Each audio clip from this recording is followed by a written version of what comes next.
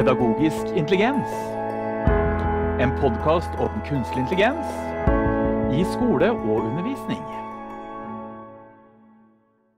Hei på deg, og hjertelig velkommen til denne jubileumsepisoden av podkasten Pedagogisk intelligens. Og jeg har med meg to andre som også fyller bursdag i dag. Det er nemlig Odin Øsen og Eva Brattvoll. Gratulerer med dagen, begge to. Og tusen takk, tusen takk. Gratulerer med dagen, Magnus. Takk. Og det samme. Gratulerer med dagen, Magnus Odin. Stas Gratulerer med dagen, Eva. Gratulerer, alle sammen, og gratulerer til lytterne våre, for dette er episode 50 av podkasten Pedagogisk intelligens. Eh, jeg tror vel ikke, Eva, at vi hadde tenkt at vi skulle være så raske på avtrekkeren når vi eh, holdt den første episoden vår i februar 2023. Eh, vi hadde vel ikke trodd at i april 2024 så skulle vi nå 50 episoder. Det er jo ikke helt, men det er jo nesten en episode i uka. Ja, det har eh, gått eh, fort denne tida, syns jeg, fra vi starta og til nå. Og eh, det har blitt mange episoder, det har det, men det har jo skjedd så utrolig mye spennende eh, på det siste året. En utvikling som har gått så raskt at det har jo nesten vært en sånn dyd av nødvendighet òg, da, å ha så mange episoder. Mm. Nei, altså, jeg, jeg var jo ikke med fra starten, så jeg kan jo mimre tilbake i februar 23. Da var det vel at jeg presenterte en sånn tidlig utgave av KI Randebergskolen digitalt på en gjeng som var på BET. Eh, så det var liksom den første gangen den ble vist fram eh, til noen andre enn meg. Eh, så det har jo skjedd, som dere sier, unektelige ting siden den gang. Og så må jeg jo si det at gjennom å lage disse episodene, Magnus, så skal vi vel ikke stikke under en stol at uh, både du og jeg, og sikkert Odin òg, har lært mye nytt.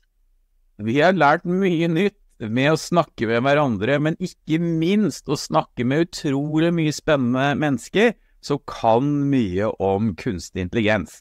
Så jeg hadde jo en tanke med å starte denne podkasten og bli bedre på kunstig intelligens selv. Eh, og så tror jeg på dette med kollektiv kunnskapsbygging, så det tror jeg har vært veldig bra for meg, og jeg håper det har vært bra for lytterne våre. Mm. Ja, så jeg tenker det, det, er jo, det, er jo, liksom det som er liksom kjernen i det, å prøve å, å, å ta disse for så vidt nye, som vil jeg, jeg vil si, nokså vanskelige temaene, og prøve å finne innfallsvinkler som på en måte gjør det forståelig for, for de som har lyst til å høre på.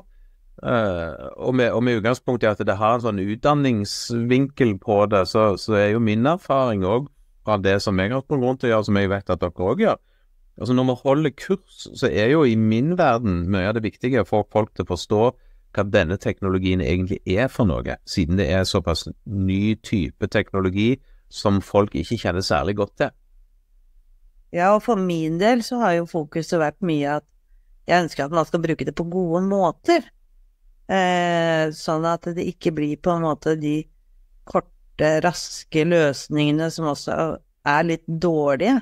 Eh, sånn at jeg håper jo det at vi har fått formidla en del av sånne typer perspektiver også. Mm. Jeg tenkte konseptet for dagens episode, dere, er en eh, kjapp rekapitulering av episodene våre. Eh, og fordi at utviklinga går så fort, så tenkte jeg vi skal ta en ikke altfor lang debatt om et utvalg av de episodene vi har hatt tidligere, og snakke litt om hva vi, som, hva vi mener om, om, dette i dag. Og den aller første episoden, den var Vi valgte et bra tema, syns jeg, for den første episoden.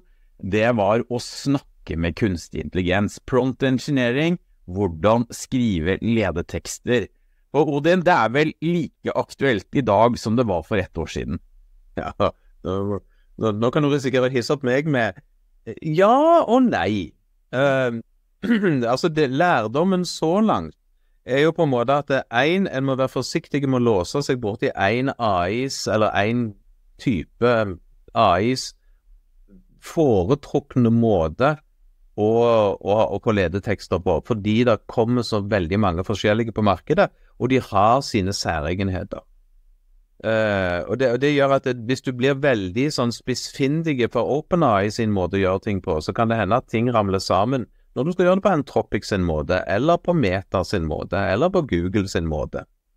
Så, så jeg tror det er OpenAI som sa sjøl at det viktige i forhold til ledetekster er egentlig å være flink til å ha et naturlig språk, og det å være tydelig og konkret i forhold til hva du ønsker hjelp til. Altså hva du ønsker at KI-en skal gjøre.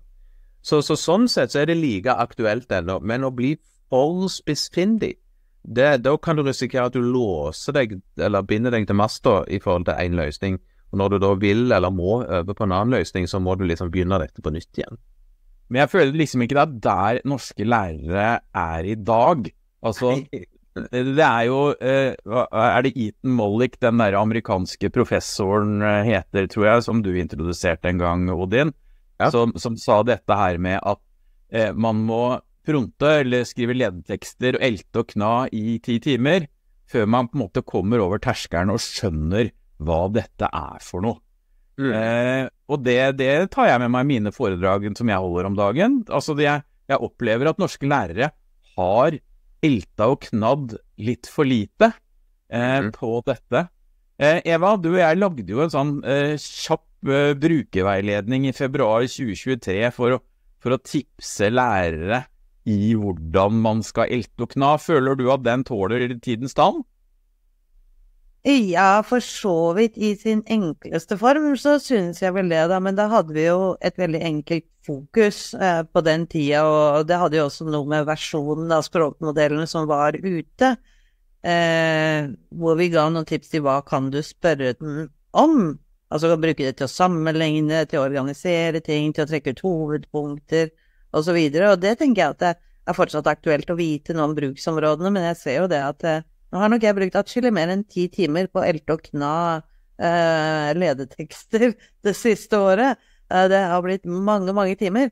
Og jeg ser jo det her at det, eh, øvelse gjør mester, at man blir mer presis, man forstår mer hva man kan få ut, og bruker det på helt andre måter.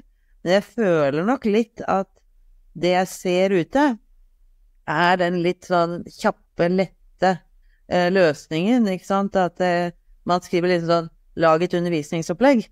Og da blir det Altså, det, det, det er som alt annet i data, ikke sant. Shit in, shit out. Uh, det er uh, det som er greia. Så det å bli god på å utnytte potensialet som ligger der, som kanskje ikke betyr at du skal få ferdige svar servert uh, til det, men å, å, liksom bruke det som utgangspunkt som en samtalepartner, sånn som du sier, til å kna godt, da, for jeg syns at det blir litt lettvint av og til.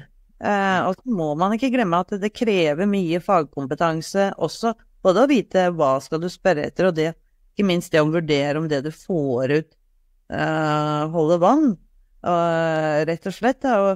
Og som et enkelt eksempel, da, i og med at jeg har sittet og vurdert litt oppgaver i den seinere tida, så ser vi jo der at det dukker opp litt sånne ting hvor, som er så typisk KI-generert.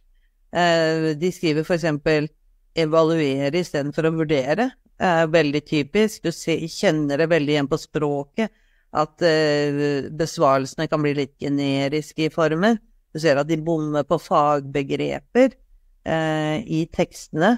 Og i tillegg så dukker det av og til opp noen sånne veldig litt rare særegenheter, eh, hvor det er veldig amerikansk, da, hvor de f.eks. kanskje påstår det at norske elever kan saksøke skolen.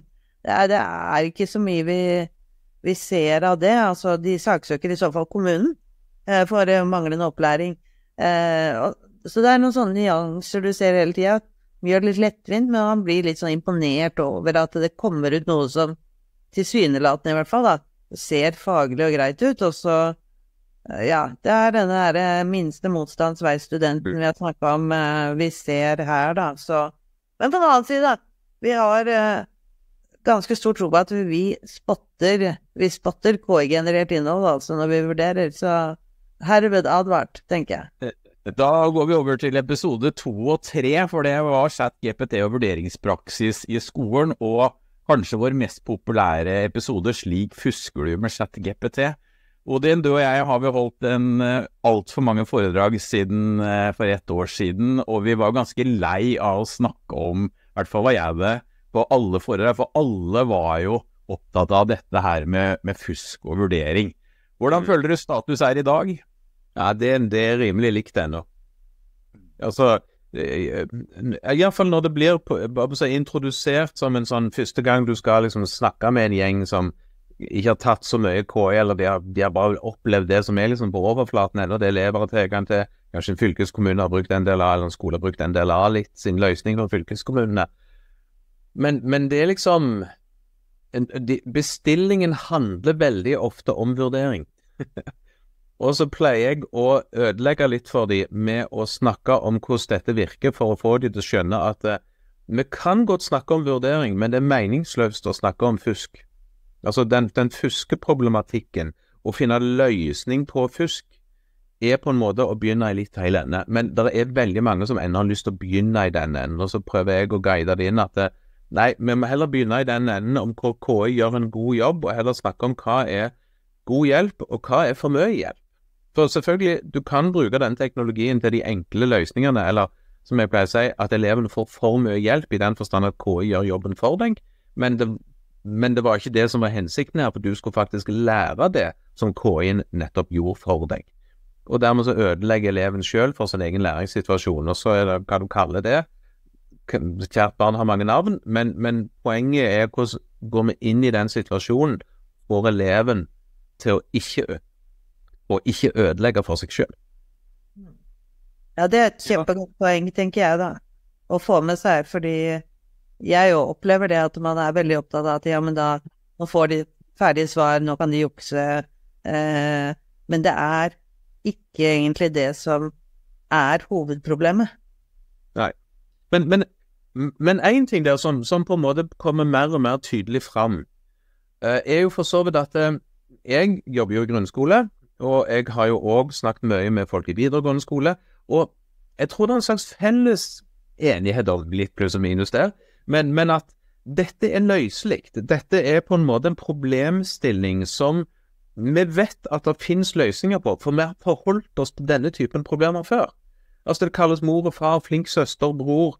Altså Google. Noen andre gjør oppgaven for eleven når eleven ikke gjør oppgaven på skolen, og så tar eleven det med på skolen og påstår det er sitt eget. Altså, det skjedde før KI òg, nå har det kanskje fått en litt annen omdreining i det, men, men greit nok.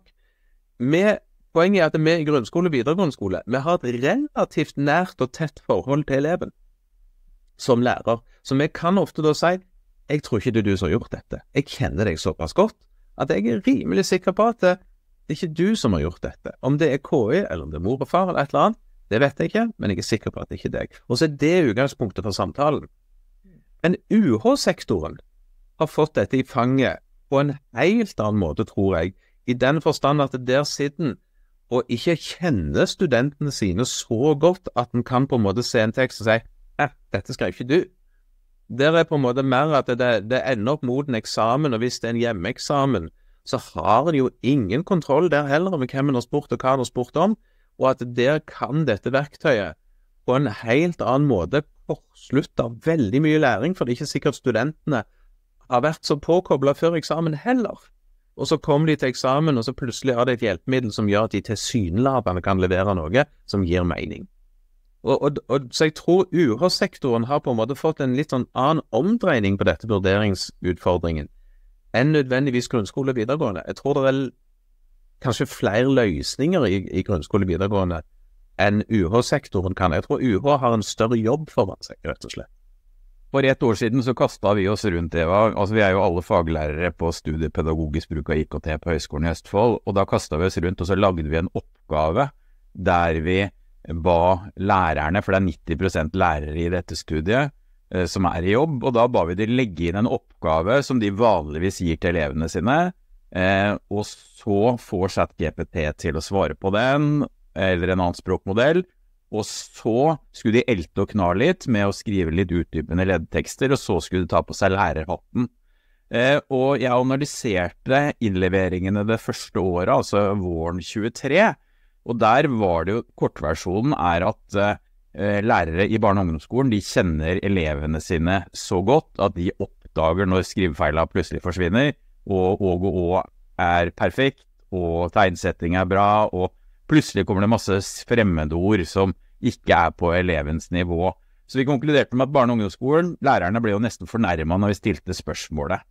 Og så kommer vi til videregående, og der var det litt mer eh, uenighet. Eh, Studiespes sa at de ofte slet med å, å finne ut av eh, om det faktisk var eleven som hadde skrevet det, mens, studies, mens eh, yrkesfagene har såpass nært forhold til elevene sine at de sa at det ikke var større problem. Men alle lærerne på videregående sa at det ofte var problem i starten av et skoleår med ny klasse eh, som de jobba på. Og så var det de som jobba på universiteter og høyskoler, vi er jo sjanseløse eh, i forhold til det.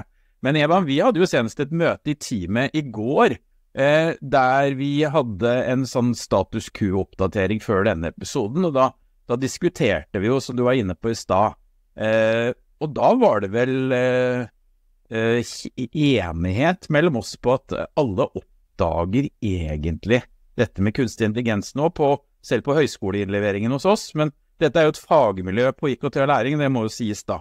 Men jeg føler at alle kollegaene våre sa at de oppdager dette her ganske kjapt.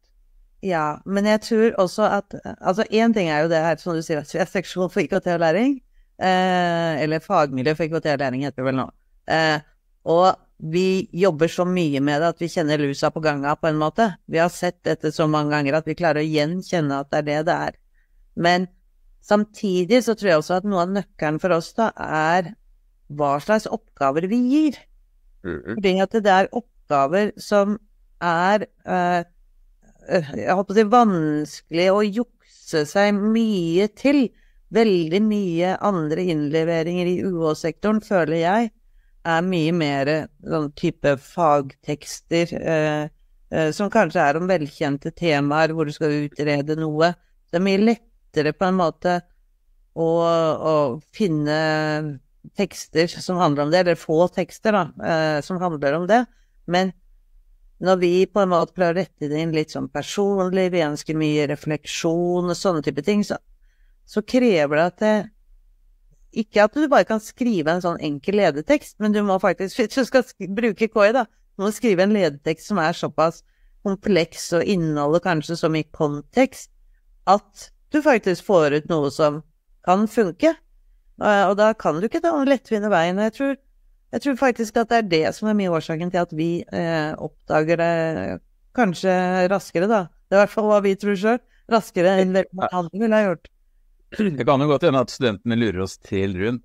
Jeg vil trekke fram, jeg vil hoppe, hoppe, langt fram til episode 42. Da hadde vi en veldig interessant episode der vi snakket med hvilke elevgrupper har mest utbytte av kunstig intelligens, og da snakka vi med professor Anders Mørk på Universitetet i Oslo. Og han hadde en, en spennende betraktning og en studie som han hadde delvis empiri på. Det var jo det at han skilte inn studentene på høyskole nå i to grupper. Altså de som klarte å generere en tekst og integrere den teksten inn i sin egen tekst, og de som genererte en tekst og slo cut and paste. Altså de som klarer å bruke det i sin læringssituasjon, men problemet med de som ikke klarer det. Ja, ja og, det, og altså, hvis jeg skal oversette det til det som vi vet nå i grunnskole, etter et år med KI i Randabergskolen, holdt på å si, så er, så er, det jo samme problemstilling. Altså, vi ser òg at de der Eller og det er vel òg forsket litt på i utlandet, med, med at du får denne Matheus-effekten. Altså, de, de ressurssterke elevene som har fått mye, de klarer seg fint. De skjønner hvordan de skal bruke denne teknologien til positive ting for egen del, uh, og så gjør de det. Og de som ikke er så ressurssterke, la oss kalle de det, de uh, skjønner ikke nødvendigvis hvordan dette virker, eller hvordan de bør bruke det, så de tar snarveien og egentlig da unngår å lære noe. Og det er Matteus-effekten i den forstand. De som har fått mye, skal få mer, og de som har fått lite, skal tas fra det lille de har fått. Og, og du får det da er egentlig enda større skille. Og vi ser jo da at de elevene Vi, vi vet akkurat hva for noen elever det er som faller i denne gruppen, som lett da klipper og limer og har gjort jobben sin ferdig, syns de. Eh, og vi, da må lærer være limt på og snakke om å vise dem hvordan brukte du KI, er du fornøyd med den teksten KI-en produserte? For kommer du inn på eleven, så vil eleven med stor sannsynlighet egentlig ikke være fornøyd med den teksten som KI-en produserte, fordi de én ikke skjønte den, og to er ikke skriver sånn som de sjøl ville opplevd at de ville sagt det. Og hvis læreren kan begynne der uten å være fordømmende, og si liksom ja, for en spennende observasjon du har gjort, hvordan ville du skrevet teksten hvis du skulle skrevet den? Nei, jeg må jo forstå den først. Ja, ok, men hvordan skal du forstå den, og hvordan skal du få KI til å vise deg en tekstutgave som du forstår? Så kommer det, og så er det litt sånn ledetekst og snakke med teksten som er produsert, og eleven må uttrykke hva de ikke forstår, eh, og jobbe sammen med KI-en, så kommer det kanskje en tekst de forstår, og så er egentlig utfordringen, men skriver den sånn som du ville sagt det? Nei, men hvordan ville du sagt det da? Skriv teksten sånn som du ville sagt det. Og da vil KI-en være en modelltekst. Og bare, bare, den lille jobben der oppover på Blooms taksonomi, egentlig, er jo veldig viktig for elevene. Og vi ser at dess mer lærere klarer å dra de der, dess mer kildekritiske og bevisste blir elevene sjøl. Så nå har vi en gjeng eh, som jeg følger litt med på, 20.-klassinger, som er de mest kildekritiske og mest bevisste elevene jeg noen gang har sett i forhold til KI, og de bruker det hele tiden. Men de bruker det til å produsere egne tekster. Det er ingen av de som nå faller for fristelsen til å klippe og lime, men de bruker det, og så integrerer de det inn i det de har lyst til å skrive, på den måten de har lyst til å skrive det på. Men det krever lærer som er limt på, og som er ærlige og transparente om at de vet KI finnes, og kan bruke KI sjøl. Ja, og det, og det syns jeg er viktige ord å ta med seg, Odin, eh, i disse prosessene som vi kommer i, for KI er på en måte kommet for å bli. Det som du, du snakka om, Magnus, i forhold til den episoden vi hadde, eh, så er det jo også sånn at eh, noe av tiden foran dette her, så så vi også på KI i arbeidslivet. Og, og, det er jo det som er liksom litt påfallende her, at arbeidere, altså, altså folk som jobber ute, da, i, i en eller annen jobb, mange av de som på en måte kanskje var de mest ressurssvake, da, hvis vi skal bruke et ord, eh, fikk ganske mye hjelp av KI, sånn at de faktisk ble veldig mye bedre. Mens de som var si, sterke arbeidere, altså vi kan jo tenke oss at det handler om å formulere seg, da. At de som formulerer seg dårlig, fikk mye hjelp av KI til å lage f.eks. bedre e-poster i sin enkleste form. Mens de som allerede var gode til å svare, fikk ikke så mye drahjelp. Og i utdanning så er det omvendt. Eh, fordi at man ikke har det fokuset på at eh, jo, du har produsert en tekst, og jeg tenker at det er litt sånn Jeg har snakka tidligere om dette her med at eh, elever som gjør lekser for lærerens skyld, ikke sant. Jeg bare gjør det fordi at jeg skal levere det. Det blir litt sånn. Jeg skal bare levere en besvarelse. Jeg tenker ikke over at det har betydning for min læring. Og det å, å få med det aspektet kan være viktig, da. Og når det er sagt, så veit jeg vi hadde jo en, en podkast også, Magnus, som handla om hvordan skal man bruke KI i skolen, altså retningslinjer som skulle komme i forhold til hvordan skal skole forholde seg til det og sånn. Kanskje vi skulle ha lagd noen litt sånn nye regler basert på det Odin har sagt om hva er du nødt til å gjøre for nettopp at uh, å få de elevene som havner i, i denne gruppa med klipp og lim, uh, til å faktisk få tatt dette verktøyet i bruk på en god måte og styrke læringen istedenfor å faktisk svekke læringen. Det, det, jo litt som, jeg må bare si det som du sa der, Eva, er jo forstått noe òg jeg sier veldig sånn tydelig at det, vi ser jo, hvis vi er litt ærlige, at uh, Vi snakker om dette med fusk, bare drar jeg det opp igjen. Altså elever, eller sagt litt sånn enkelt, elever velger å fuske fordi vi lærere i skolen har vist dem at det å få til testen er viktigere enn å ha lært noe. Ja. Uh, og, og, når jeg sier det, så er, det så, så er jeg ofte på videregående skole eller, sånt, eller på ungdomsskole, for det er jo de som sliter med vurdering. Men jeg, det, er ikke dere, det er ikke dere som har vist elevene det. Dette begynner i første klasse. Dette begynner helt nede, der elevene forstår Altså, Her er det et sprik mellom det læreren mener og det elevene oppfatter. Læreren sier 'gjør disse oppgavene', fordi læreren vet at når eleven gjør dette, så vil dette være en trening i forhold til et læringsmål, eller kompetansemål. Eleven hører stort sett bare du skal gjøre dette, ok, og så gjør jeg det. Men de, de, de, gjør ikke nødvendigvis koblingen mellom det de gjør og det de skal lære, og så blir det bare en vane, der du får elever som er skoleflinke, de bare gjør det lærer sier.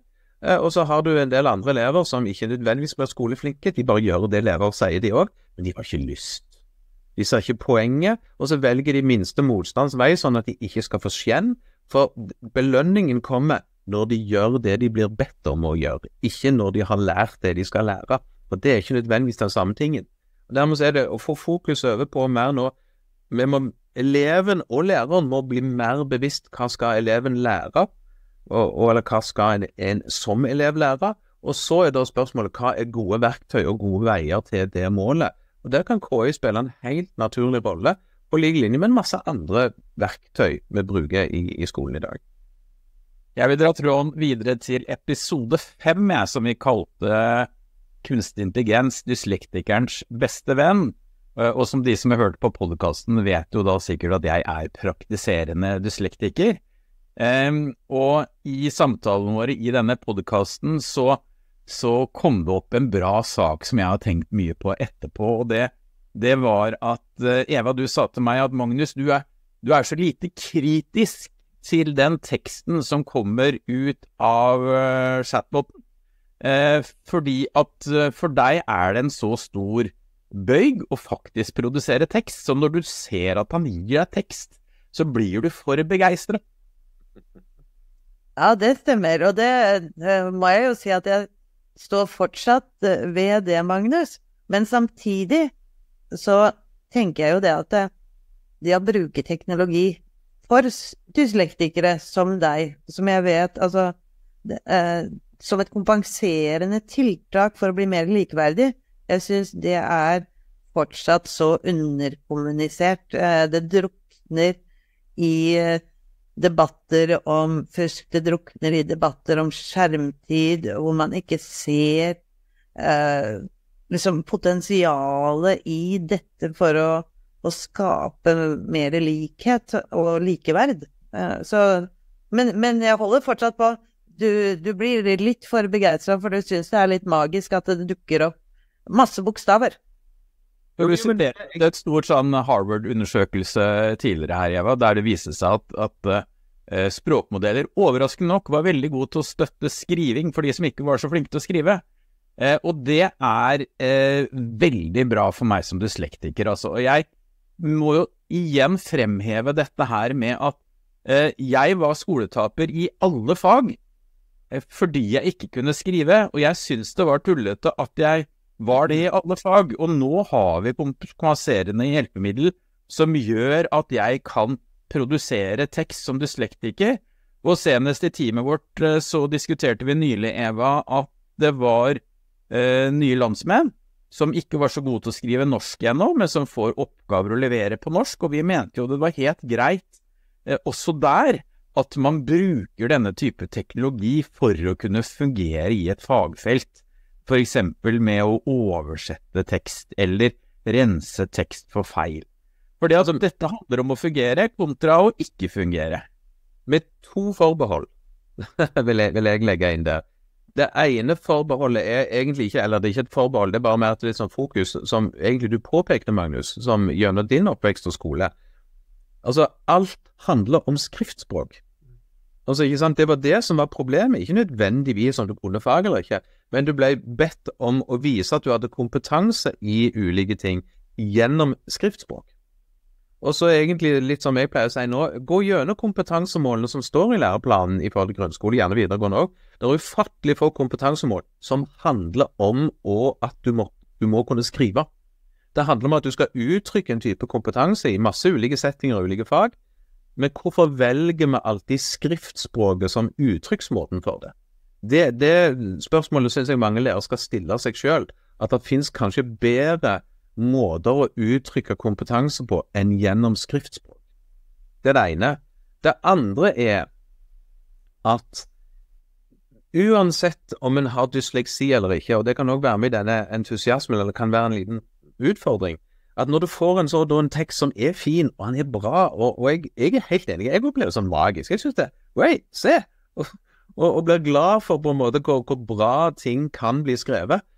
Så ser vi jo allikevel òg at det, en bør ha lest teksten, og en bør lese teksten rimelig grundig, nettopp fordi han Ikke det at han skriver feil, han skriver ikke noe annet enn det du egentlig mener men han kan skrive det med en annen, jeg pleier å kalle det tonalitet. Altså, han, han, skriver det på en måte som du kanskje ikke ville sagt det på, hvis det var du som skulle si det sjøl. Men siden det er så bra, så får det nå være, og en er glad for at det er sånn det er. Men det er pl plutselig ikke blitt ens eget språk, og det er noe med å utfordre lese gjennom og se er det sånn du ville sagt det, eller er det blitt sagt noe på en måte som egentlig stemmer litt mer om, som om en reklameforfatter skulle skrevet noe om det som du mente noe om. Jeg, jeg pleier å ha en sånn test på kurs. Eh, Vi ber de om, jeg ber NKI om å skrive en kort tekst om kommunen. Altså skriv en kort tekst om Randeberg kommune for Randebergs del. Og så ber jeg folk å lese gjennom den teksten om, og mene noe om den. Er dette en, en korrekt tekst om Randeberg kommune? Faktamessig er det aldri feil, men tonaliteten i den, måten Randaberg kommune og hva Randaberg kommune blir omtalt på, det pleier de fleste som kjenner Randaberg kommune, til bare å si nei, det er ikke sånn vi snakker om Randaberg kommune. Mens en som ikke kjenner Randaberg kommune, ville lest det som en gjenkjennbar tekst hvis de besøkte kommunen. Og, og den lille forskjellen der er det òg viktig at de som er fremmedspråklige, prøver å forstå det som blir den norske teksten, for å på en måte integrere det til en del av deres språk. Ja, er liksom. Ja. Jeg, jeg er delvis enig med deg, Odin, men du må sette deg inn i dyslektikerens sted. Eh, vi leser veldig dårlig. Eh, vi leser veldig sakte. Vi har ikke samme forståelsen av det som blir lest som deg, og vi føler ikke vi nødvendigvis har den kompetansen til å bearbeide den teksten til det bedre. Så vi må streve etter det. Jeg er absolutt enig med deg, men sett fra dyslektikerens sted, så tar den prosessen du snakker om der, så lang tid. Ja, jeg, jeg det er det jeg er klar over. så Det er derfor jeg er på en måte sånn Jeg mener òg, som Eva sa, det er et undervurdert verktøy. Jeg mener at dette skal opp og fram som et verktøy for dyslektikere. Og det er bedre at det er der med sine begrensninger, enn at det ikke blir brukt. Men, men det er derfor jeg har litt sånn Der er liksom de to tingene er en sånn Ja, vi skal bruke det, og i den grad vi klarer å liksom å løfte opp disse Spesielt dette med tonaliteten i det. Eh, og, og få det inn som en del av det, med de utfordringene dette selvfølgelig er for en dyslektiker, fordi en dyslektiker er en dyslektiker. Så, så er det noe med å, å, å klare å ha de to tankene samtidig. Men det betyr ikke at vi skal legge vekk dette verktøyet som, som et, et fabelaktig verktøy for dyslektikere. Vi skal skifte tema. I episode syv så kalte vi episoden for Klar, ferdig, bing. Og det at Microsoft eh, kom på banen, eh, var jo sånn sett et viktig grep. Odin, du var pioner. Du hadde jo Randabergskolen på nett med språkmodell. Var det april, eller var det mars? Altså, offisielt, offisielt var det 18. april. Men hadde April eh, 2023. Og det er jo da milevis før alle andre. Og det er vel faktisk sånn i dag at halvparten av kommunene i Norge omtrent fremdeles ikke har en språkmodell å tilby sine elever. Nei, de, nei, nei, nei, nei. Det, det, det er en Altså, det er mange, jeg, jeg har ikke oversikt. Det er en del kommuner som har kopiert KI Randebergskolen-opplegget, men, men de store kommunene de har store systemer der det er sånne ting som dette skal jobbes gjennom. Så det er vel egentlig bare av de større Altså, Oslo kommune kom jo rimelig greit på plass. Eh, og så vet jeg jo at Kristiansand er på plass, mens Sandnes, Stavanger, Trondheim, Bergen De eh, putler. Men de, de holder på. Men det er store systemer som dette skal gjennom før det på en måte kan få lov til å bli en løsning. Får vi klasseskille i norsk skole mellom de kommunene som klarer å tilby en språkmodell, og de som ikke klarer det?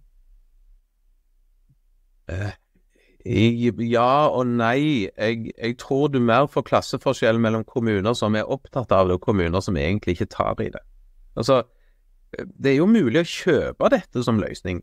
Altså, både, både Det finnes jo flere firmaer som selger løsninger som kan brukes i skole per dags dato.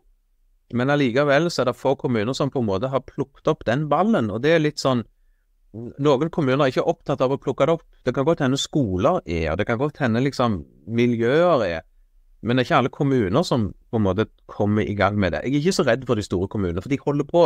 De, de er bare, Det er litt sånn inertia. Det tar litt tid før de kommer fram, men de kommer fram, og de kommer fram med gode systemer og med gode rutiner og med god forståelse. Uh, så jeg er mer bekymra for alle de der små kommunene som, som kanskje da blir liggende etter, der chat, gratisutgaven av ChatGPT er godt nok, det.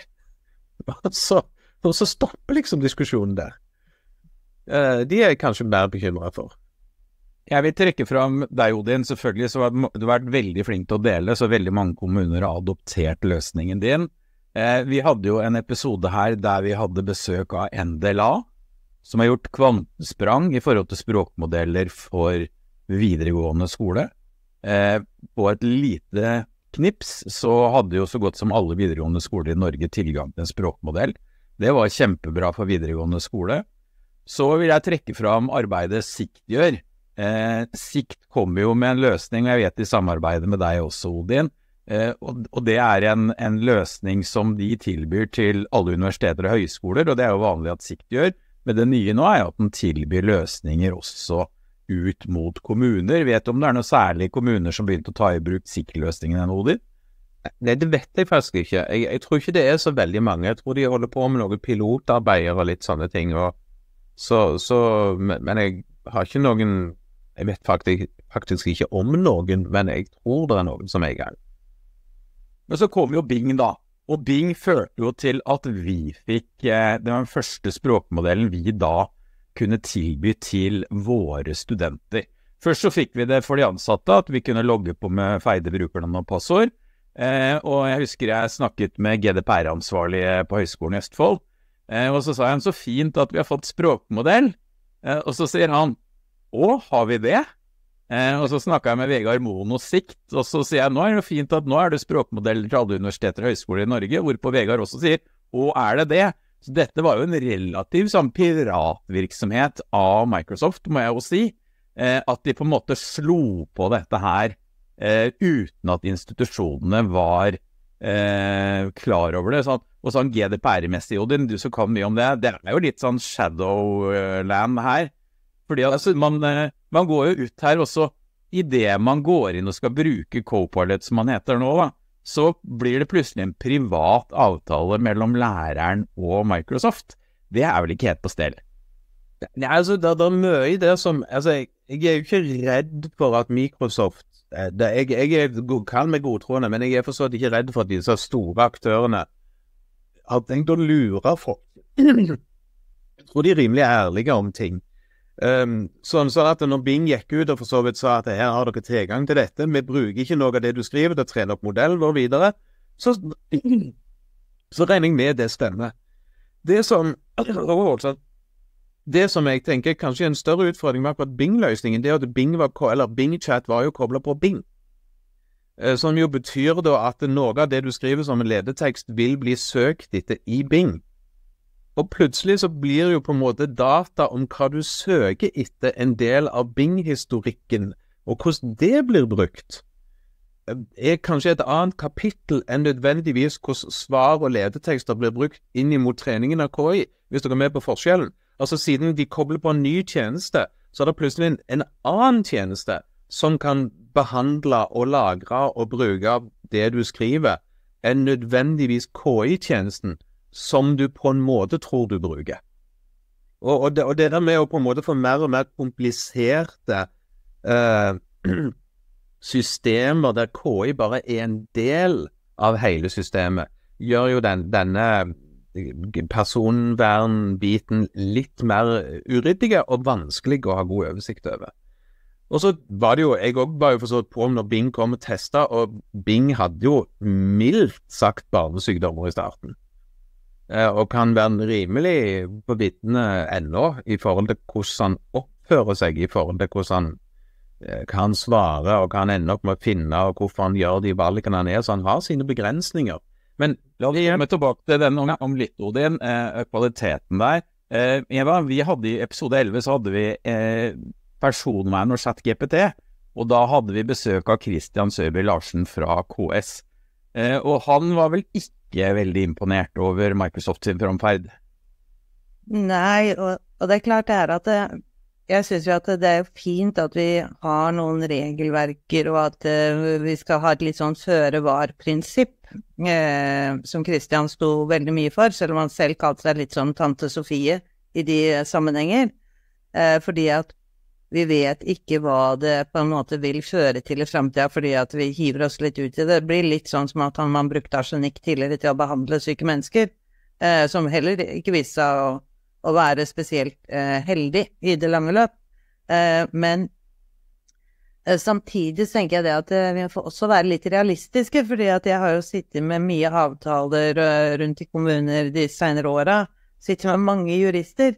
Og noen ganger så, så blir det kanskje litt eh, mye problematisering i forhold til hva det skal brukes til, da. Eh, sånn at eh, jeg er nok ikke så opptatt akkurat av eh, liksom det du skriver inn i søk og, og sånne ting. Jeg er nok kanskje mer opptatt av at eh, man ikke samler data til å profilere, det er én ting. Og så er jeg veldig opptatt av hva, hva som ligger bak.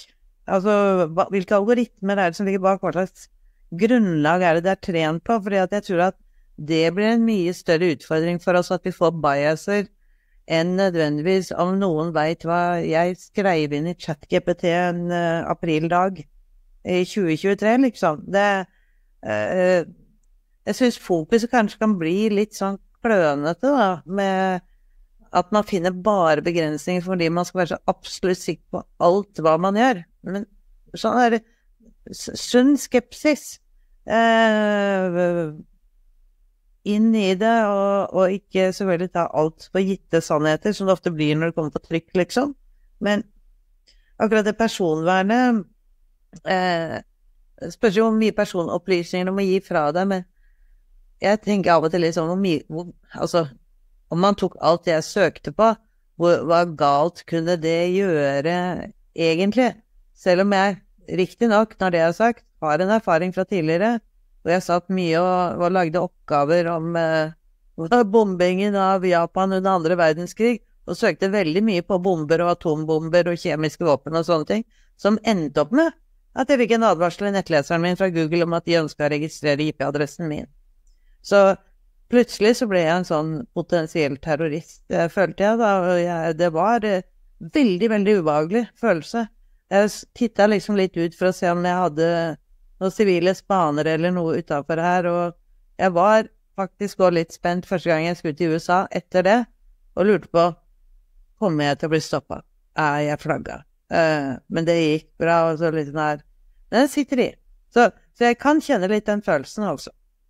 Da tar jeg opp tråden, Odin, på dette vi snakket om. Eh, vi hadde den første episoden som du var med på hos oss, før du ble fast medlem av teamet det var eh, hvorfor får vi ulike svar av ulike AI-tjenester. Og da, da snakka vi jo om at eh, både Bing, nå Copilot og ChatGPT brukte samme motor, men vi fikk forskjellige svar.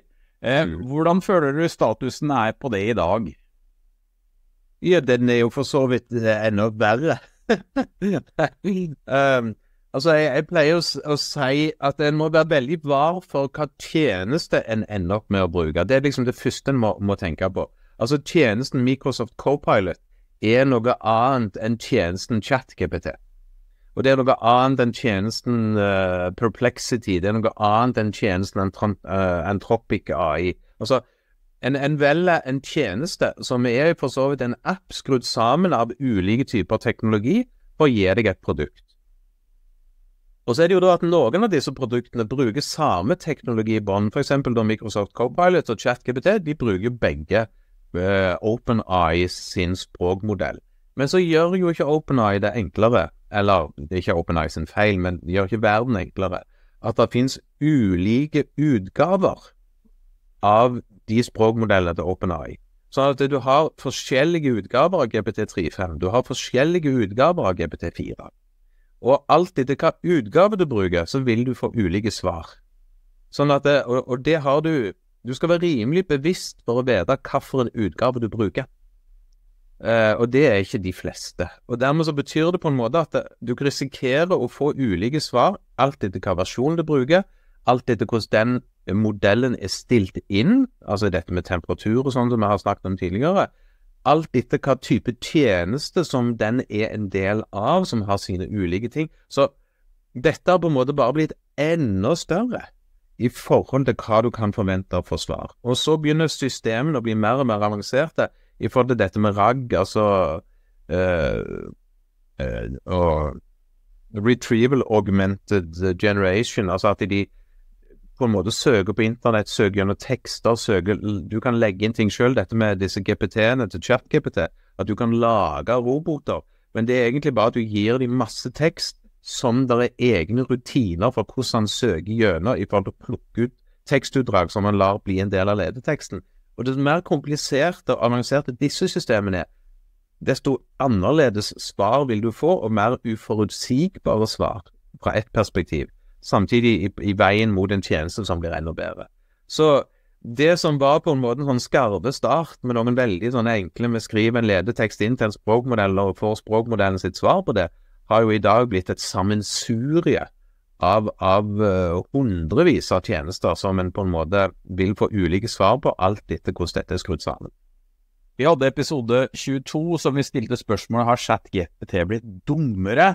Og da, da, vet vi jo ikke dette sikkert, men det var noe forskning som sa at svarene var blitt dårligere i gratisversjonene. Tror vi nå at selskapene har slått ned datakraften i de gratis åpne versjonene og valgte å prioritere betalingsløsningene? Eh, bare for ChatGPT sin del, det enkle svaret er jo for så vidt ja, men ikke nødvendigvis i kvaliteten på svar, men bare på hvor ofte de er oppdatert. Siste utgave av GPT4 tror jeg var desember 23. Er cutoffen i forhold til treningsgrunnlaget. Cutoffen på GPT35 er fremdeles september 21. Uh, og Det betyr jo da at uh, har ikke tatt seg bryet med å trene opp GPT35 etter september 21. Men de holder GPT4 relativt godt uh, oppdatert og i live. Så det er jo tydelig hvor de legger pengene sine i forhold til hva de har lyst til å trene opp. Ja, men det er også at, det, at min erfaring med det, da, selv om vi liksom tenker på hvor, altså, treningsdelen av det, så ser jeg jo at det er en enorm forskjell i på en måte språkdrakten og kvaliteten jeg får ut av 3-5 sammenligna med 4.0, eh, for eksempel. Eh, sånn at eh, for meg er det jo ikke noe alternativ annet enn å sitte i siste versjon hele tida for å få ut den kvaliteten jeg ønsker, da. Men det er vel kanskje litt sånn til ditt spørsmål, Magnus. altså hadde jeg vært kommersiell, så hadde jeg jo selvfølgelig gjort det sånn at du eh, det er ikke gratisversjonen som er flaggskipet. Eh, det sier seg sjøl, det, hvor, eh, hvor, du legger inn kreftene. Mm. Så vil jeg over til dette med å bruke eh, kunstig intelligens i undervisninga. Jeg hadde, vi hadde en episode 21 der vi stilte spørsmålet kan kunstig intelligens være en veileder for eleven. Og så hadde vi episode 23 LearnLab tidlig ute med integrering av språkmodeller. Og jeg, jeg vet at du mener veldig mye om, om, dette her. Kan vi nå få mer veiledning inn i skolen med at uh, i tillegg til læreren, som har begrensa med tid, kan vi nå la KI-en være en, en bidragsyter i veiledning og tilbakemeldingsprosessen? Eh, ja og nei, får vel jeg si da. Det er så, så, godt når vi kan gi tydelige svar. Eh, eh, i forhold til å være en veileder som en slags samtalepartner som du kan diskutere med, som du kan få uh, ideer av. Uh, jeg tenker i forhold til å få forklart tekster enklere, til det å få eksempler på ting, sånn at du kan få en forståelse når du sitter som elev og uten tilgang til noen som kan hjelpe deg, litt sånn som Odin var inne på i stad, at man har en mor eller far eller søster eller bror eller andre, eller en KI, eh, så tenker jeg at det har et potensial eh, for rett og slett å gjøre eh, innholdet lettere tilgjengelig. Og så må vi putte på selvfølgelig dette her med kildekritikken, ikke sant. Altså er det faktisk riktig det du får ut? Og jeg har jo hatt noen grelle eksempler eh, på, på, det.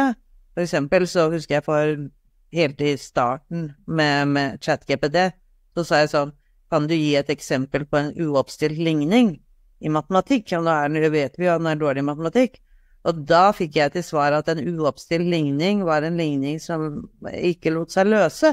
Som én eh, er veldig sånn eh, feil definisjon på hva en uoppstilt ligning er. Og i oppfølgingen av det så sa han det at et eksempel på da en sånn ligning som ikke lot seg løse, var 2x pluss 3 er lik 7. Og da sa jeg at jeg kan med mitt blotte øye se med en gang at den lar seg løse, og at x er lik 2. Eh, og så derfor må du være kildekritisk og ikke stole på det som kommer ut. når du snakker om det med tilbakemelding og vurdering, jeg er jo veldig skeptisk i forhold til det, for hva, da må du i hvert fall være veldig tydelig med hva det er den skal vurdere. Eh, og eh, at du kan få noen tips til ting du kan gjøre bedre, at du kan eh, på en måte få litt samla oversikt, kunne få skrevet ut ting litt mer utfyllende, som vi har snakka om. Ikke? Man skriver at mannen som lærer vurderer, skriver inn noen stikkord og kan få den til å på en måte fylle ut teksten litt mer. Eh, da, da, er det sånn at den skal over og vurdere ting. Da er vi over på ting som eh, vi allerede gjør i, i flervalgsoppgaver i dag, hvor vi angir hva som er riktig og hva som er galt svar, og så får du du fikk eh, åtte av ti riktige, liksom. Da, da, er det helt greit. Da kan en gjøre det, men til å vurdere eksempel oppgaver som vi lager som går på hva er din erfaring, din refleksjon rundt uh, dette temaet, uh, da Nei, jeg tror uh, ikke vi er der, og det, jeg håper ikke vi kommer dit heller. og jeg tror det at uh, lovgivninga innenfor KI vil sikre at blir KI brukt til sånne type ting, til å, å, på en måte avgjøre eller vurdere ting på den måten, skal det i hvert fall være veldig tydelig hva det er som blir vurdert. Du og jeg har jo diskutert dette opp og ned av veggene, og jeg er jo mer positiv på dette enn deg, for jeg tar jo da utgangspunktet av eh, tilbakemelding, veiledning kontra at det ikke kommer noe fordi at det er manko på tid. Og Odin, jeg vet at du befinner deg et sted mellom meg og Eva, tror jeg. Selv om du kanskje er litt nærmere meg, jeg er litt usikker. Ja, altså, jeg er, jeg er, konsekvent på at en eh, KI i den form man har nå, eller språkmodeller, de er ikke i stand til å vurdere noe. Altså, de, de, er ikke, de er ikke teknisk i stand til det. Jeg ble si at Hvis du ber dem om å vurdere noe, så kommer du få en sjangerriktig tekst som ser ut som en vurdering, med begrunnelser og med alt det du ber om. Men det, den gir ikke mening før du leser den, men da må du òg lese elevteksten, og da er du tilbake til null på et eller annet vis. Eh, men han kan gi elever forslag til forbedringer. Men det er en helt annen ting. Det er ikke å gjøre en vurdering. Altså Jeg pleier å si at KI-er eller språkmodeller er ikke i stand til å planlegge noe. Og Dermed så betyr det at de er heller ikke i stand til å mene noe, og eh, sånn som vi som en aktør mener noe, og dermed er de heller ikke i stand til å gjøre en vurdering. Eh, så, så, det setter veldig klare begrensninger hva jeg som lærer kan bruke den til. Men elever kan bruke dette til å få tilbakemeldinger, men det er eleven som må vurdere om det er en matnyttig tilbakemelding eller ikke. Og ofte så er det ikke det. Men det er eleven som hele tiden må gjøre det, for eleven Jeg pleier å si svaret fra en AI gir ikke mening uten at du òg vet ledeteksten. Altså, øh, så, og det, pleier, det gjelder bilder òg. Altså, hvis du får en til å lage et bilde, så er bildet egentlig meningsløst hvis du ikke vet hva slags ord som lå til grunn for genereringen av bildet. Og Det samme vil gjelde en tekst som en AI skriver. Den vil òg være meningsløs på et plan før du òg vet hva som var, lå til grunn for at den ble skrevet. Og elevene de kjenner jo forhåpentligvis hele prosessen, så de vet jo hva skrev jeg? Hva leverte jeg inn til AI-en, Jeg får dette som svar. Er det et meningsfullt svar? Hvis det er det, så kan jeg gjøre noe med den teksten som jeg får som svar, og bruke det til å bearbeide oppgaven min til å bli enda bedre. Hvis det var et meningsløst svar, altså det ga ingen mening for meg, for jeg kanskje forsto det ikke, eller det var bare generelt vas, så kan jeg be om en ny tilbakemelding, eller så må jeg endre noe med ledeteksten for å få en annen type tilbakemelding som er matnyttig. Og, og men det er noe annet enn vurdering. Vurdering er noe lærere gjør, i den forstand. Jeg vil gå over til episode 34, som vi kalte KI for å støtte skriveprosessen i skolen. Og Da hadde vi besøk av min kollega professor Irina Egernes på Høgskolen i Østfold, som driver et prosjekt som prøver å utvikle et verktøy som skal komme inn i prosessorientert skriving. Eh, og da er det sånn at eleven produserer en tekst, leverer den til KI, får tilbakemelding, får muligheter for å forbedre teksten. Elevene tar til seg den vurderinga eller ikke, gjør bearbeidelser, så leverer til lærer, og lærer gir tilbakemelding.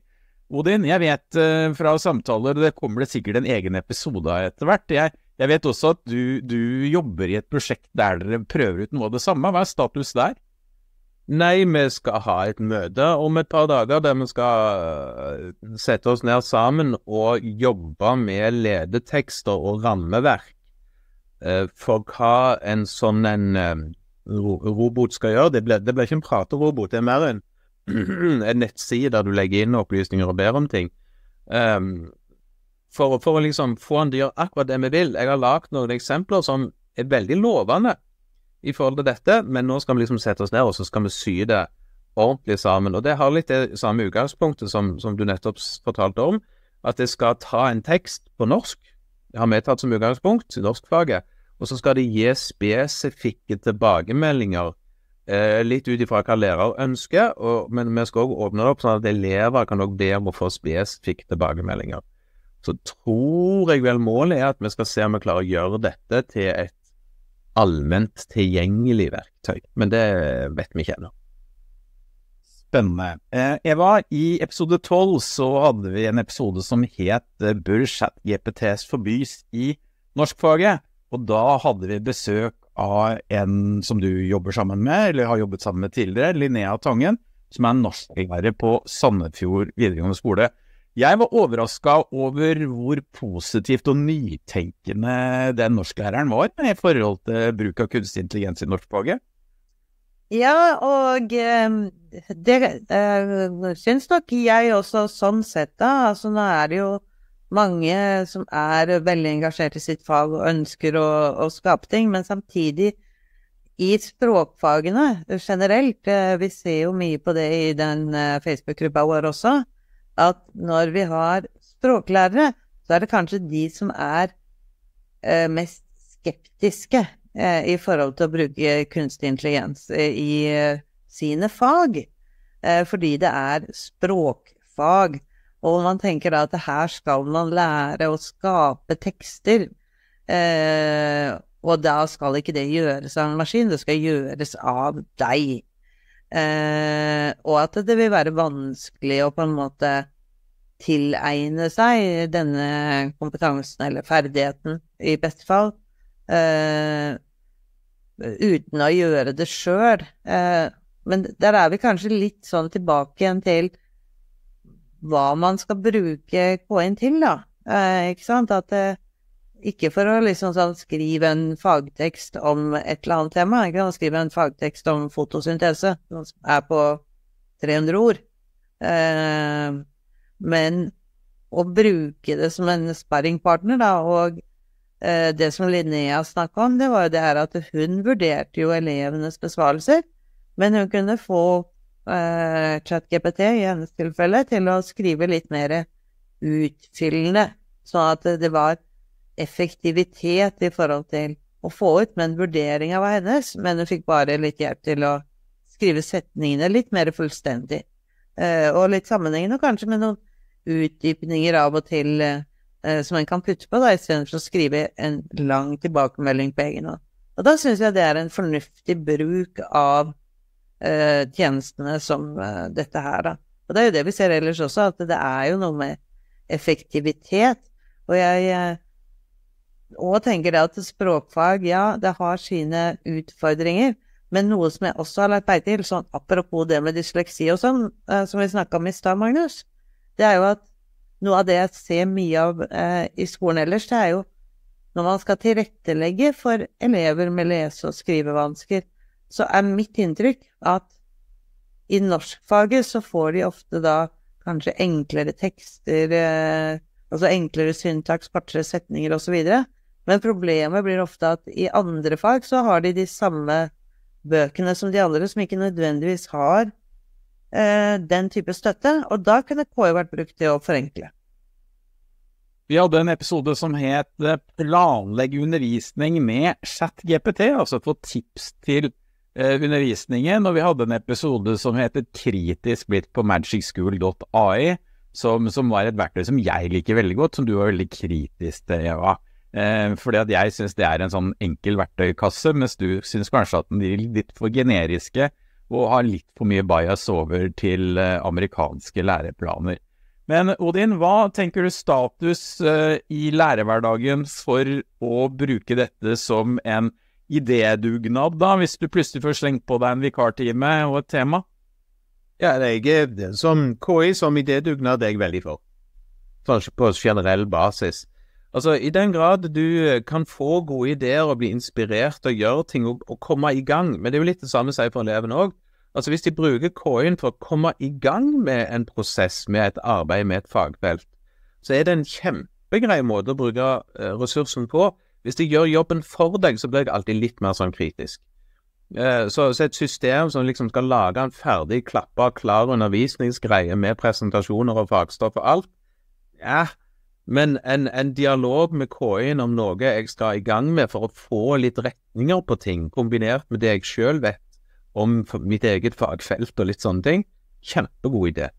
Så, så jeg, er, jeg, er, veldig mye mer prosess der enn nødvendigvis sluttprodukt. Eva, dine tanker? Ja, nei, jeg syns jo det er at uh, min største innvending mot det er at det blir for generisk. Uh, når du Hvis man har lyst til å si sånn og, det, og, og, kanskje spesielt når du sier sånne ting som blir kasta inn i en vikartime med et tema du ikke kjenner så godt. Altså, skal du bruke KI, så må du kjenne temaet godt, for ellers så veit du faktisk ikke om det som kommer ut, holder vann, liksom, det, eller om det er de viktigste tingene som blir eh, trukket fram.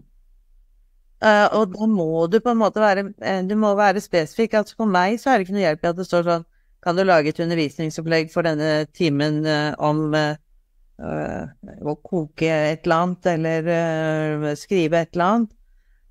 for da blir den veldig sånn ja, først kan du fortelle om temaet, og så kan dere ha en diskusjon, og så kan dere ha en quiz. det er ofte det som står, og så tenker jeg at det, er ingen hjelp i det hele tatt. Her må det liksom spisses opp litt, og, og, og derfor så er det nok det der, som Odin sier, prosessen mer enn produktet. Så jeg er veldig sånn skeptisk til å tenke det at det, eh, nå kan vi bruke KI til å liksom sånn eh, Lag eh, presentasjonen eh, om eh, fotosyntese for meg med bilder og tekst, f.eks. Litt sånn som er litt sånn mulig i dag å få til. Eh, fordi at du må i alle fall gå kritisk gjennom den teksten og se om er dette faktisk det som er riktig og viktig, og er det ikke minst er det dette som er målet mitt med denne timen. At, at lærer de det de skal? Eller, eller blir det noe helt annet, liksom? Vi går videre til episode 25, og den het 'Ulike AI-verktøy til bruk i undervisningen'. Nå skal vi ikke, Dette kunne vi snakka om i mange, mange timer, men jeg stiller et spørsmål. Eh, jeg vil ha ett eller to verktøy fra dere som har imponert dere i det siste. Altså noe som du nettopp har oppdaget i forhold til AI-verktøy som, som, du ble overraska over hvor gøy eller hvor god var. Jeg begynner med Odin, selv om du ikke er noe forberedt spørsmål, så går jeg for at du tar den på, på strak arm, og du prøver masse ting. Ja, men jeg er så nerdete. ja, to korte og ikke for mye nerding, da. Det har jo fått tilbakemelding at episoder med Odin og Magnus bare nerder. Det er ikke for alle. Nei, men altså, jeg har en lei tendens, og det skal jeg innrømme, til at jeg syns at mye av sånne AI-verktøy som er der ute, er leketøy. Eh, og det gjør at jeg ikke gidder engang å prøve de. Um, så jeg er mer litt sånn Jeg er mer innenfor da, to typer kunstig intelligens som jeg mener har en reell nytteverdi, og hvor jeg lar meg imponere over ting. Og det er språkmodeller og bildemodeller. Og, og hver gang Midjourney finner på noe nytt, så blir jeg imponert. så, så, så, jeg er litt på liksom den der evolusjonen i de systemene. Og jeg skal innrømme jeg er flatt ut imponert av den siste åpne språkmodellen til Meta, altså Lama versjon 3, både denne 8B-modellen og 70B-modellen. Til å være så små modeller, så er de ufattelig gode. Og på norsk, både bokmål og nynorsk. Uh, jeg, jeg, eh, det bøyer meg i støvet i forhold til hvor fort den utviklingen går, og hvor mye Meta klarer å pushe dette, og at de gjør dette åpent. Sånne ting er det som imponerer meg. Men, men altså, Sora, første gang jeg så liksom det resultatet det den kunne gjøre, Ja da, jeg er jo liksom imponert, men jeg er fremdeles på Ja, men det har ingen nytteverdi. Det er teknologiske leketøy som forteller noe om den teknologiske utviklingen, som kanskje ender opp med noe. Og så har jeg vist seg å være litt sånn fornuftig skeptisk, for når det jo kommer fram nå av disse filmskaperne som har lagd noen små kortfilmer med Sora egentlig endte opp med å gjøre, så har de ikke akkurat brukt verktøyet særlig mye. De har brukt alle de vanlige verktøyene med å lage film veldig mye. Så jeg lar meg imponere over de liksom stegene som de eksisterende tingene gjør, mer enn at jeg blir imponert over nye ting som dukker opp, hvis du kan kalle det det. Hvis jeg har lært noen ting i denne AI-verdenen, så er det at jeg skiller veldig på demo og virkelighet. Og Sora er et eksempel som ja, imponerte meg, men vi kan ikke bruke det ennå. Og vi er ikke sikre, for det har ikke kommet som bruker for verden ellers, da, dette videogenereringsverktøyet til OpenAI. Så det tenker jeg er en ikke-eksisterende ting fram til vi får prøve det sjøl. Eh, Eva, verktøy som har imponert deg i det siste? Nei, altså jeg tenker jo også at eh, Sora kan eh, bli kjempegøy. Jeg ser jo masse eh, muligheter. Eh, jeg ser mange steder jeg skal bruke det når, når, det blir så bra som det liksom er lagt opp til at det skal bli. Eh, men ellers er jo jeg mer på eh, hverdagen min, og jeg syns jo fortsatt at uh, ChatGPT 4.0 er et enormt effektivt verktøy for meg i min hverdag. Både i forhold til å, uh, ha idémyldring og, og, få ideer til å generere bilder via Dali på en veldig enkel måte, veldig enkel funksjon. Profesjonelle grafikere og sånn vil sikkert synes at det er ikke så god kvalitet, men det, men det er godt nok for meg, det jeg holder på med da. Men hvis jeg skal ta opp en ting til, så er det litt at nå har vi jo en modul i eh, IKT-pedmiken vår om KI, og der skal de prøve å lage noen ulike multimedia vi ønsker at de skal prøve i hendene. Og noe av det som slår meg litt når jeg sitter og sett gjennom det, det er nok at mange av dem har nok falt veldig for det å generere musikk. Altså tekst og musikk. At man Jeg tror det at det, for å si sånn, blir nok ikke noen poplåter. Jeg ser det at noen har reflektert litt over at de har tenkt at det skulle liksom bli en slager. Så kanskje de liksom ser for seg at den skal ta verden, skal få millioner avspillinger på Spotify eller noe. Jeg tror ikke at det vil skje, da. For der tror jeg man er for dårlig til å lage det. Men å lage noe som er litt gøy og morsomt, og man, man syns var litt stas sjøl, så der tror jeg at det er veldig mange av våre studenter som har uh, sagt at wow, det var et verktøy som var gøy. Der stjerte du en av mine, Eva, for det er jo sånn at vi tre har laget en modul som heter kunstig intelligens i undervisning, som er en del av faget pedagogisk bruk av IKT på Høgskolen i Østfold dette semesteret. Men vi har jo valgt, i den gode delingsånden vi er, at vi har delt hele modulen vår. Så hvis du går inn på bit.ly slash KI skole, så får du den modulen. Eh, og jeg har også sittet og vurdert den samme oppgaven sammen med deg de siste ukene, Eva. Og jeg er også mektig imponert over Suno, denne musikkgenereringstjenesten. Eh, og hvilket engasjement den har skapt til blant våre lærere da, eh, og lærerstudenter. Eh, og hvor faglige de har prøvd å lage en del av disse tekstene eh, som de har generert. Så det var den ene verktøyet jeg hadde på, på min liste. Eh, og så sitter jeg og jobber om dagen med å revidere innføring i IKT, eller IKT-muken vår som skal gå til høsten. Der prøver vi å integrere masse KI inn om dagen. Og jeg må si at uh, den som har imponert meg de siste 14 dagene mest, er Gamma AI. Altså et verktøy som hjelper deg å lage en, en presentasjon nå sier jeg ikke at den er ikke ferdig ut av boksen, men, men som en idéstarter for at du skal lage en powerpoint innenfor et visst tema, enten å skrive en ledetekst, eller å laste opp en tekst og få forslag til eh, denne presentasjonen. Jeg diskuterte dette med kollega Marianne Haglia, og hun sa at det er nesten alltid sånn at Gamma kommer opp med et tema som jeg har glemt bort, som jeg selvfølgelig bør ha med i presentasjonen min, som jeg, jeg, finner når jeg prøver ut den. Og den finnes jo i en gratisløsning også. Så syns jeg det er kjempefint at du kan eksportere presentasjonen over i PowerPoint etterpå, og at det er ganske enkelt å gjøre redigeringer på den. Så den imponerte meg eh, litt første gangen jeg så den. Og så har jeg jobba veldig mye med bilder, og det er jo noe jeg har lært av deg, Odin. Denne, denne standalone-versjonen, fokus, så du kan generere bilder på, på egen datamaskin, forutsatt at du har en Nvidia grafikkort. Det imponerte meg voldsomt uh, at du faktisk kan lage det uten å være kobla til internett. Ja, ellers så kan vi jo si det at det, du har jo omfavna litt grann eh, Hygen og Syntesia på, på videofronten, om avatarvideoer. Absolutt, men nå snakka vi om det siste. Jeg syns at Hygen er en fantastisk programvare. Eh, jeg er jo veldig glad i å lage undervisningsvideoer, men jeg syns det også er veldig gøy eh, å se hvordan teknologien er i rivende utvikling der. Og vi snakka jo om video. Eh, jeg var kjempeimponert når jeg så Runway første gangen. Men den blir jo bare skyggen når vi ser Sora fra OpenAI. Og først så så jeg Synthesia, eh, og den var veldig bra, og den var jeg imponert over i lang tid. Men så kom Hygen med muligheten for å lage dine egne avatarer. Eh, så den syns jeg er utrolig spennende.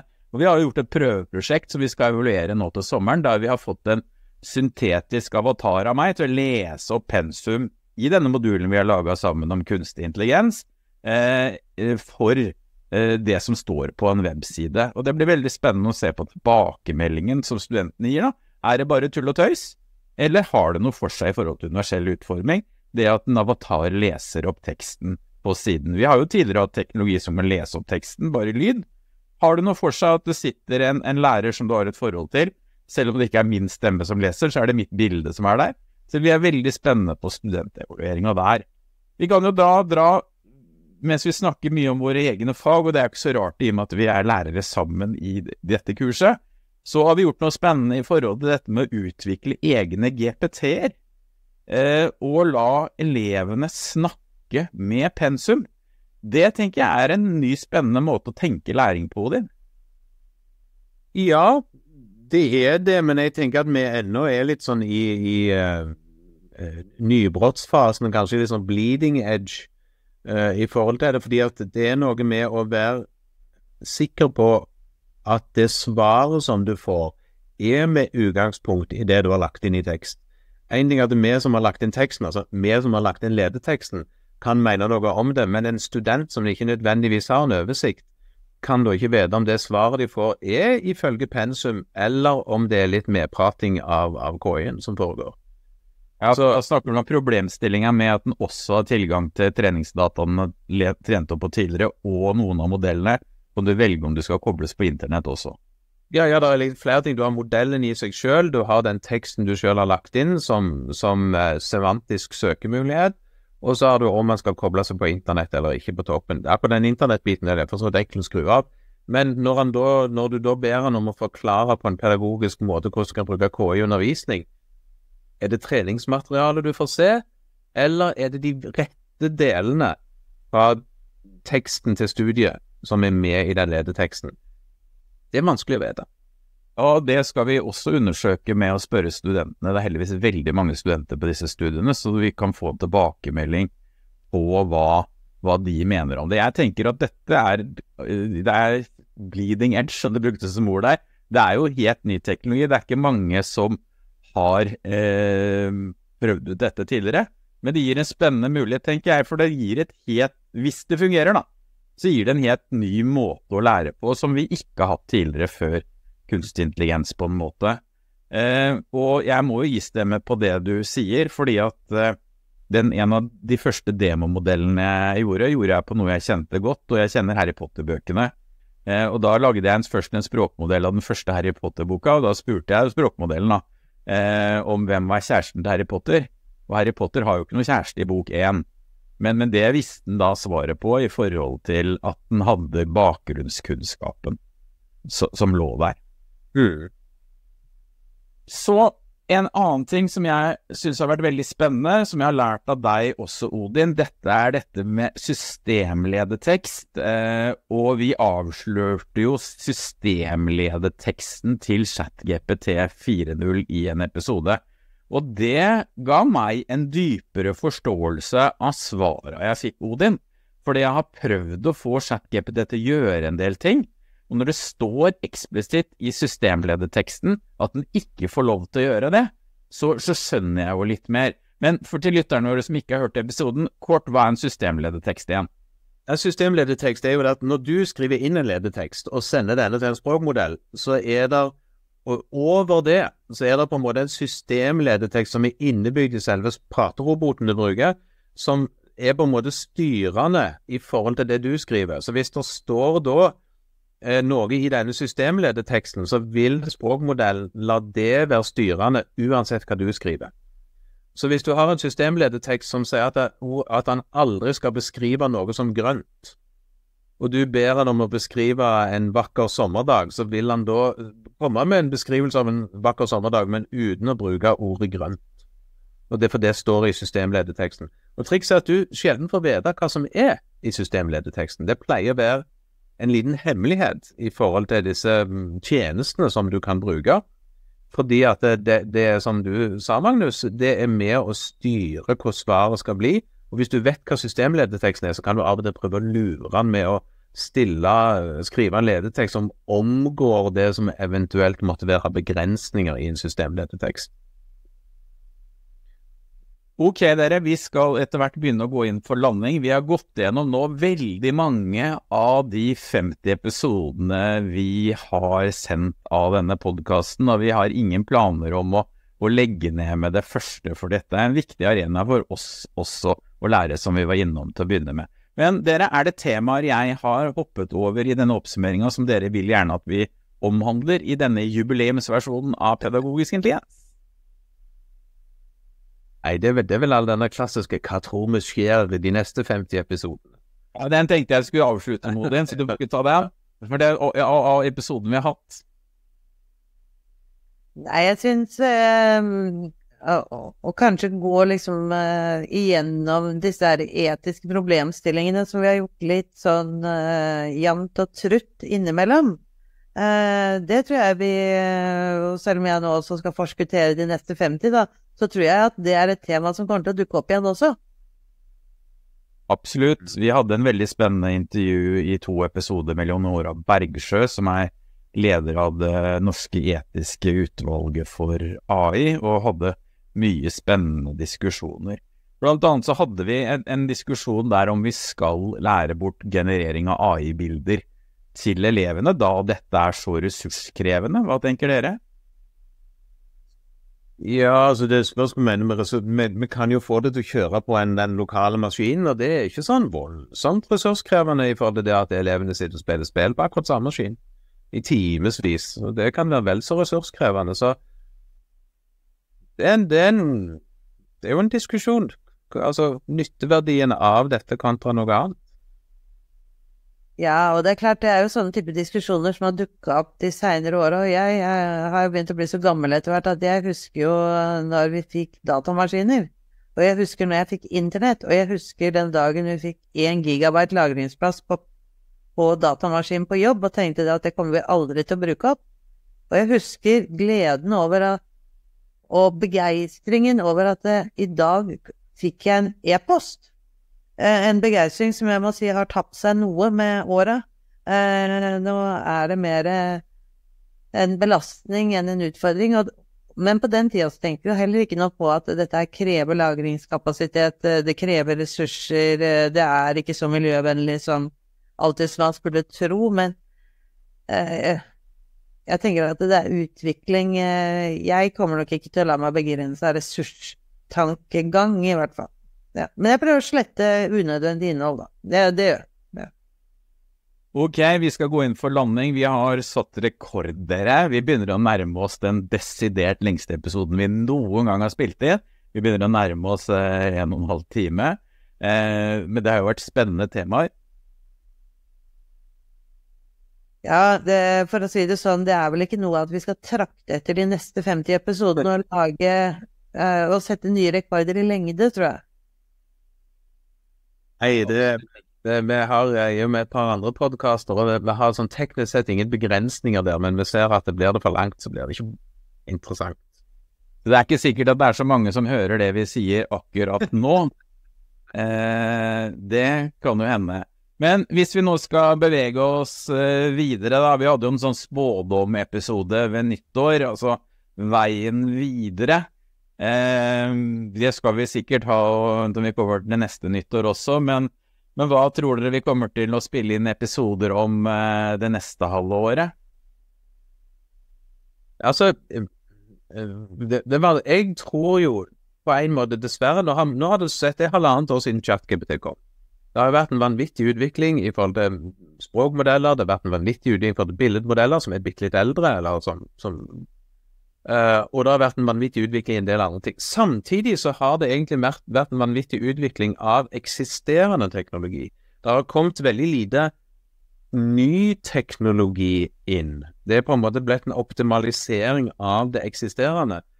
Så jeg er jo veldig spent på om det kommer noe, for det er jo for så vidt ting i emningen som vi snakket litt om i den episoden med Hans Solve, om kreativ, kunstig, kreativ, uh, kunstig kreativitet. Altså, det er jo folk som jobber med andre måter å tenke kunstig intelligens på enn de eksisterende teknologiene. Og om det skjer, så kommer vi til å ha veldig mange spennende episoder framover. Hvis ikke, så tror jeg det handler mye om det samme, faktisk. Fordi at det vil handle om optimalisering av det som finnes. Det vil være en større bredde av det som finnes. Jeg håper jo at dette med norske språkmodeller vil bli mer enn det er i dag. Jeg er usikker på det. Uh, og så kommer det til å handle om at kanskje flere og flere kommuner, og de store kommunene, òg kommer i gang med dette. Og at det blir kanskje en integrert og altså, jevn og hverdagslig bruk av denne teknologien i Skole-Norge. Men, men det hvis det ikke skjer noe revolusjonerende et eller annet sted på denne veien her nå, så er det det de 50 neste episodene nå kommer til å handle om, tror jeg. Noen spådommer fra deg, Eva? Nei, jeg tror eh, at eh, dette er med å implementere, eh, hvis vi tenker utdanningssektoren, implementere KI på gode måter og, og, og, få det til å fungere, det tror jeg nok vi kommer til å si mye om. Jeg tror vi kommer til å si mye om etikk og, og lovverk som kommer, fordi at det vil kreves å få en kunnskapsoppdatering på det, holde seg à jour med hva som skjer. Eh, men jeg tror også at det kommer mange nye tjenester. Jeg tror dessverre at det vil være også mange tjenester som egentlig bare er tull og tøys og tøv og kontraproduktive eh, som sådan. For det har vi sett før, at når det kommer ny teknologi, så lager man veldig mange ting, og så er det noe som funker, og så er det noe som ikke funker like godt. Uh, jeg husker jo det, Magnus. Vi var jo på bedt begge to, uh, og så for eksempel sånne 3D-bilder av hjerter gjennom spesielle briller og sånn, som, som, var veldig topp her for uh, ja, det må jo være seks, sju, åtte år siden, kanskje. Og det var jo veldig nytt og fantastisk, men det har liksom ikke tatt av helt eh, i, i skoleverdenen. Og, og, vi har hatt mange sånne ting som eh, folk har tenkt at det skal bli en suksess som det ikke har blitt. Så vi kommer nok til å oppleve mange sånne ting, og sånne forsøk på å skape nye ting, men som svikter enten fordi at eh, tjenestene er for dårlige, eller fordi at man ikke klarer å liksom utnytte potensialet og implementere det godt nok. Det tror jeg. Jeg gjentar meg selv fra, fra nyttårsepisoden vår på at det, det, den neste revolusjonen jeg venter på, er jo innen video. Vi har jo vært innom Sora tidligere, men jeg, jeg vil prøve det i hendene sjøl. Jeg vil prøve det. Jeg lager mye videoer i jobben min, og så tenker jeg at den hadde hatt veldig godt av og noe innklipp fra det vi kaller talking head, bilde av meg som snakker, og ha noen innklipp av noe visualiseringsvideo som jeg ser for meg et stort potensial hvis vi får noen gode AI-genereringstjenester. Men jeg syns liksom Runway ikke er god nok ennå til å gjøre dette. Den, den, var veldig lovende tidlig, og så har det liksom ikke fått den utløsninga som vi venter på. Så jeg venter og håper veldig på at det skal komme en revolusjon i forhold til generativ video. Og så eh, er jo jeg veldig glad i Microsoft-programvare, det skal jeg ikke stikke under en stol på.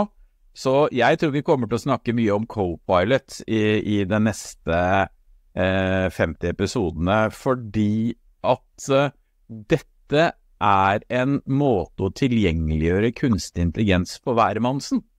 Altså, det er jo sånn at eh, det er altfor få som har begynt å prøve dette her. Vi hadde et personalseminar på, på fakultetet vårt for ikke lang tid tilbake. Jeg satt på en gruppe der halvparten av kollegaene mine ennå ikke har prøvd en språkmodell. Jeg ble helt sjokkert. Det tror jeg er mye mer enn hva vi tror. Altså at man rett og slett ikke har begynt å bruke det ennå. Og når det dukker opp i kjente verktøy som Word, Excel, PowerPoint, OneNote osv., så, videre, så blir det en lavere brukerterskel for at hvermannsen, ikke minst å tenke mot arbeidslivet, eh, at det plutselig dukker opp tjenester i hverdagen til folk som, som gjør at det blir eh, effektivisering og kanskje høyere kvalitet, forutsatt at man har den kritiske sansen som vi har snakka mye om så langt. Altså. Så det med tilgjengeliggjøring på en god måte, det tror jeg er noe av nøkkelordene uh, for noen av våre kommende episoder fremover. Skal jeg, skal jeg bare ta så veldig sånn der, ikke kritisk venn engang, og spydig venn, nei. Altså, uh, jeg tror ikke det blir så mye co-pilot, jeg tror det blir mer sånn chaos pilot, uh, sånn som det ser ut. Det andre er at det, det blir for de utvalgte med, altså Prisen på Microsoft co-pilot er 3600 kroner per hode per år. Og det tror jeg det er få offentlige institusjoner som syns det er verdt. Uh, så, så, så, det blir nok bare liksom litt for de få, men jeg tror mest det blir en kaospilot enn en co-pilot. Og det får vi se om hvem av oss som får rett i. Da skal vi glede oss til å diskutere det i kommende episoder, Odin, for jeg tror at prisen kommer til å gå ned etter hvert. At det er et slags introduksjonskostnad til å begynne med, så vi går ned etter hvert. Og det, det, vi vil jo få rundt rund bøt, det tror jeg vi alle er enige om, at alle liksom, verktøy som skal være oppdaterte, uansett hvilke digitale verktøy det er, tror jeg kommer til å integrere eh, KI i verktøyene sine eh, det neste halve året, tror dere ikke det? Usikker. Rett og slett AI Act kommer til å bety noe her. Det tror jeg jo, at eh, lovgivninga kommer til å styre mye av det, men at mange har lyst til å prøve å få det inn. Det er jeg i hvert fall eh, helt sikker på. Og, men, ja, ja. Men, det, men, det, som, jeg, som jeg har så eksperimentert med litt òg, litt sånn i forhold til dette med språkmodeller til skoleutdanning og litt sånn å drifte ting sjøl Altså, det har en prislapp, disse tingene her. Det, disse datakreftene som regner ut ting har en kost, og det vi betaler til OpenAI og Antropic og Google for bruken av deres tjenester, jeg har en magefølelse av at det er godt subsidierte priser. Så jeg er ikke sikker på om dette er noe som nødvendigvis går ned i pris med det første. For, for den datamaskinen jeg må leie for å drive min egen lokale utgave av en liten Lama-modell, den koster bare for min del da en dollar i timen. og 24 dollar i døgnet. Og det er en del penger til å ikke være så veldig mye. Så, så dette, dette, tror jeg er en sånn større, kompleks ting som må på en måte finne et slags naturlig mm, punkt der liksom forskning kontra konkurranse kontra et eller annet finner et eller annet sånt felt det kan ligge på. Og akkurat nå tror jeg det er mest konkurranse enn så nødvendigvis et slags levelig felt. Men ok, nå har vi begynt uh, de 50 neste episodene her. Vi begynte de neste 50 episodene. Jeg sier tusen takk for at du hørte på oss i denne episoden, og håper at du vil høre på oss i de neste 50 episodene for å holde deg faglig oppdatert innenfor emnet kunstig intelligens i undervisning og skole.